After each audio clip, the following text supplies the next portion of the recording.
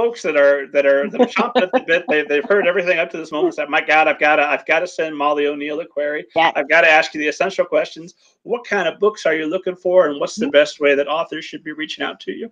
Sure. So there are two websites that you can look at. You can look at mollyo'neillbooks.com. That's O'Neill with two L's. Um, you can look at rootliterary.com, which gives the broader spectrum of the whole agency that I'm a part of. Um, I have a broad list. My colleagues, Holly and Taylor, do more in the adult space than I do. They do a fair amount of women's fiction and romance and have had wild success with that. So if that's what you're writing, you should query them. I'm probably not your girl. Um, my list starts at YA with a few exceptions uh, and goes down. So I publish young adult books. Should I show some examples? Is that something Absolutely. you'd like to see? All right. So you already saw um, Darius the Great is Not Okay by Adib Khorram. Words We Don't Say is another contemporary YA um, about a teenage boy um, who has a um, a lot to say, but is is holding back on saying it. Um, it's a um, stylistically a very interesting book. It's one of those books that if you talk about too much, you give it away. But um, if you're looking for an interesting contemporary YA, that's a good one. Um, I also do middle grade. Um, this is The Tragical Tale of Birdie Bloom by Temre Beltz. This is a uh, fairy tale-ish fantasy or a fantasy-ish fairy tale, depending on how you look at it, about a um, orphan and a wicked witch who start writing letters to each other and end up saving the kingdom.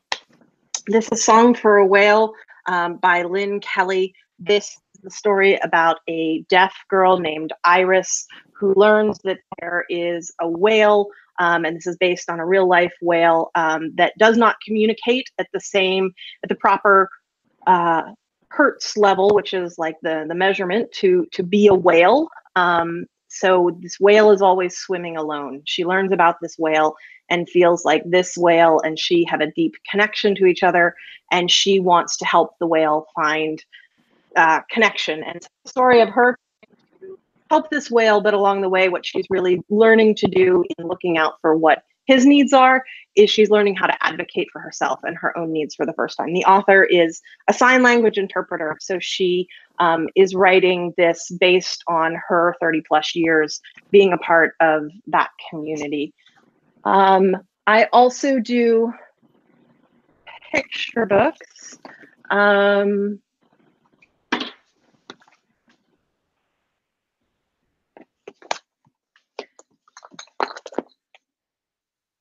Um, so Spencer and Vincent, the Jellyfish Brothers, about two jellyfish brothers that get separated. This is Emily Dove, is my illustrator, not the.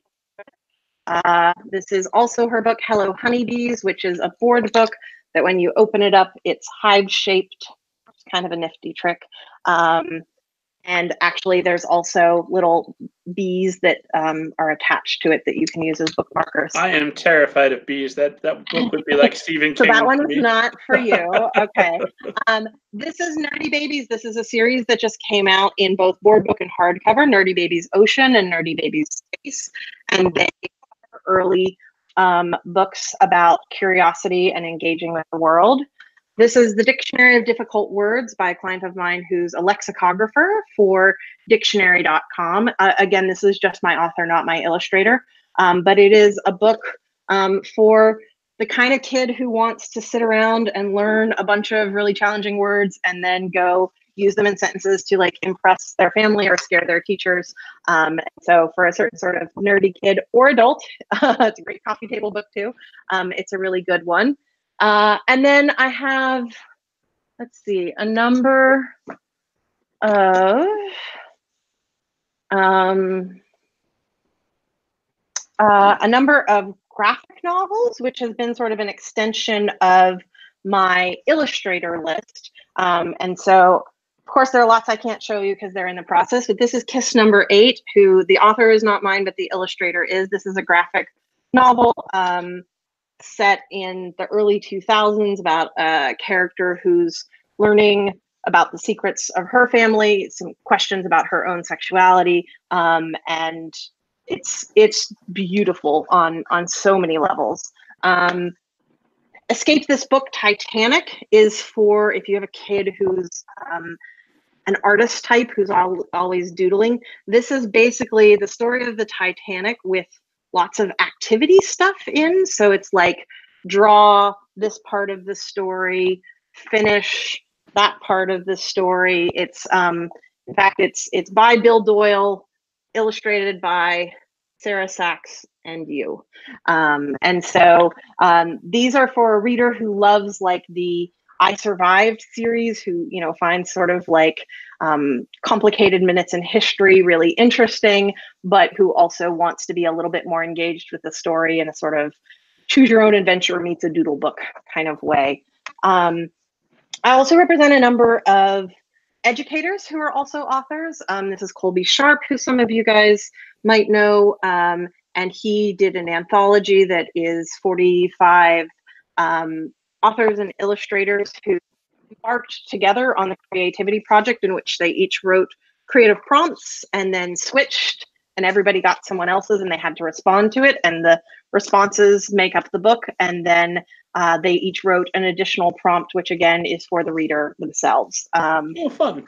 yeah and practical and, for anybody that's looking to teach a creative writing class for yes. younger readers yes, it would be great for like creative writing workshops. And in fact, because Colby's a teacher, one of the things he said is anthologies are often way too long to really be used well in a classroom. I want to have an anthology, but have the pieces be really short, which was a piece of knowledge that, you know, someone who is very well intentioned but doesn't know that audience um, may not actually understand. So he he did something sort of unique there.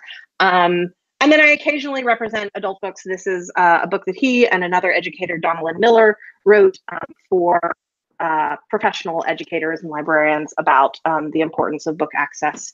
Um, but so boiling that all down, what does my look, list look like? Um, young adult authors, certainly. Um, I'm drawn to things that are literary, that you know um, have beautiful, thoughtful writing. Uh, that doesn't mean that I'm not also interested in smash successes and commercial things. Holly and Taylor are both really, really good at high fantasy. They're probably the right person for that kind of project. That's not me usually.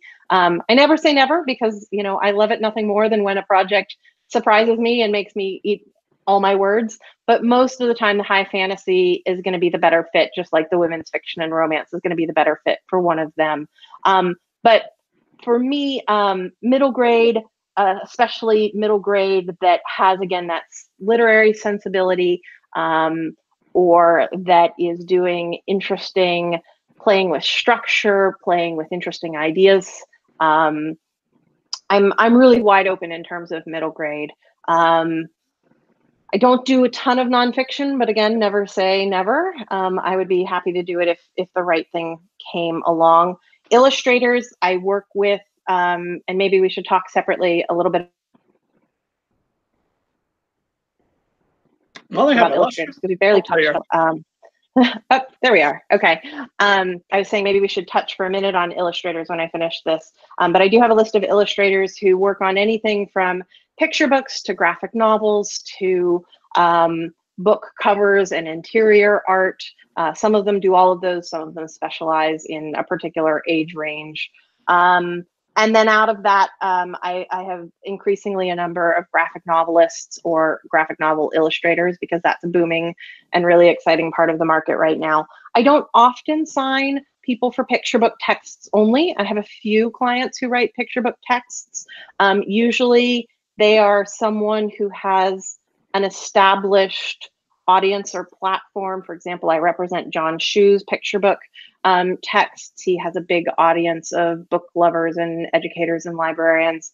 Um, and sometimes, you know, if I have a client who's writing other kinds of books and occasionally writes a picture book, then certainly I will work with them on that. But I'm not looking necessarily for someone who, um, you know, is going to write 20 picture book manuscripts over the course of a year because that um, starts uh, I, I think it's not the thing that I'm best at doing.